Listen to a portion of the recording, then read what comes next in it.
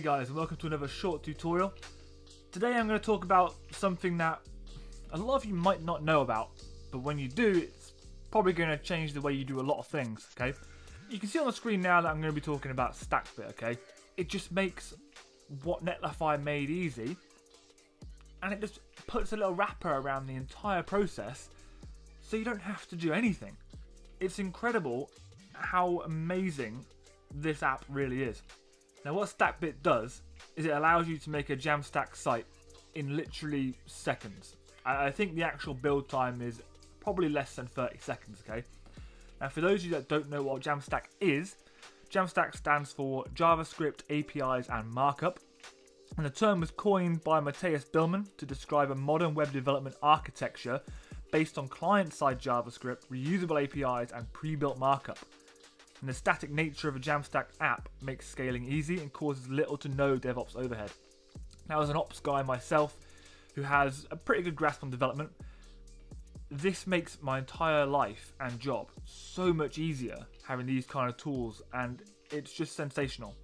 Now, StackBit's main page essentially has a lot of the tools that they're developing on it, and you'll, you'll see that every single one of these says request early access.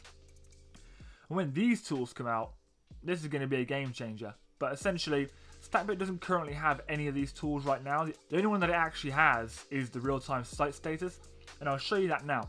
What we're going to go through now is we'll just build a website. It's that simple. We'll build a website, and you can see how incredible StackBit is. Now, what you're going to need for this, bearing in mind I have all these, so it makes the process a lot easier for me. But to do exactly what I'm going to do, what you're going to need is a GitHub account a Netlify account, and a forestry account. Now, if you don't, I'll link all of these below. If you don't have access to them, essentially StackBit is what we're going to be using to build everything. Netlify is what we're going to host and build with. GitHub's where all our code is going to be stored, and forestry is a CMS. It's one of the one of the better ones in, in my personal opinion. I, I, like it much better than the rest. Um, there's plenty of options out there, and you'll, you'll see as we go through. So first step then, we'll sign in. It immediately signed me in, but it can give you the option to sign in with GitHub or Netlify. I chose GitHub. From here, we'll just go new project. And it has a small selection of themes. I won't go in it in this video, but you can use your own theme and you can simply put in the GitHub repository link right there. It does need to have a StackBit YAML file in the repository but I'll go through that in a separate video. So for now, we'll just stick with the basic themes that they give you. So we'll just keep it simple. We'll go for the medium inspired blogging theme. You, you can go for a live preview if you want to, but I, I know what it looks like, so I'm happy with this one. Next, we'll continue to the site generator. I'm going to use Gatsby just because I, I know how it works and I really like it, to be honest. Next to the CMS, like I said, I like forestry, so I'm going to stick with forestry.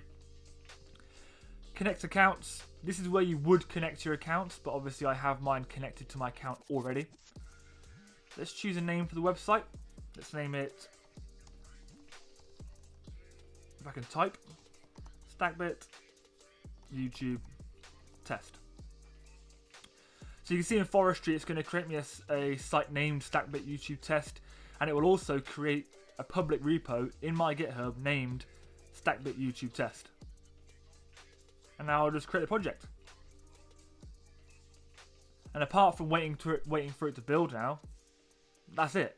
You can click on view logs if you want to view it in Netlify. It'll take you straight to your Netlify page, which you can click on here and get the actual logs live as they appear. Okay, and there we go, the site's all built. So now we can immediately jump into forestry, start editing the site, but you know, if you want to do a separate video on forestry at some point, we can do that. All we're focusing on this video is how fast and efficiently you can get a project up and running. So we can go straight to the site. You'll notice what's great about StackBit is that it includes a little widget in the top right hand corner.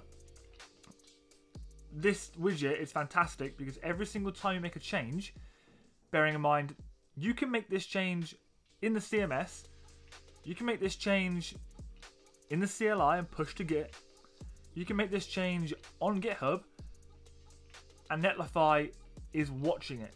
As soon as Netlify detects a change, StackBit will start rebuilding the site. It's that easy. And we'll demonstrate that in a second by making a small change. Okay, the site's rebuilt. All we've got to do is click refresh. And it'll refresh the page. Now you can see the widget is giving us three options. Edit in forestry, go to the Netlify project, or go to the GitHub repo. So let's open all of these in different tabs. Here's a repo that's built for us. Here's a project on Netlify.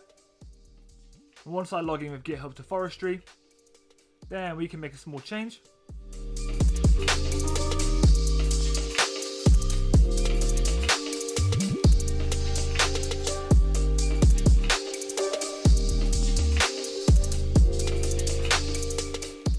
Save that. On forestry, you can see this small little disc here. Once that's finished spinning around and it goes green, then your site's all saved and good to go. Awesome. If I switch back now to here, you can see it's already detected the change, it's already rebuilding. Okay, let's give it a refresh.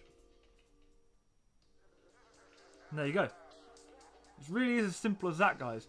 I, I feel like this has been around for a while. The Jamstack and Netlify and that, they've all been around for a while now. However, I really don't feel like people know enough about them as they should, or not enough people even know about them. It's 2020 now, and I feel like as a dev guy or an ops guy, you've really got no excuse. If you have a project or an idea in your mind, you can use these tools to make it a reality. I really think it's a fantastic tool. Make sure you visit stackbit.com or you can go straight to app.stackbit.com. I'll link it all below. Um, but if you want to see more videos like this, then give the video a like, leave me a comment, and subscribe for more. Thanks, guys.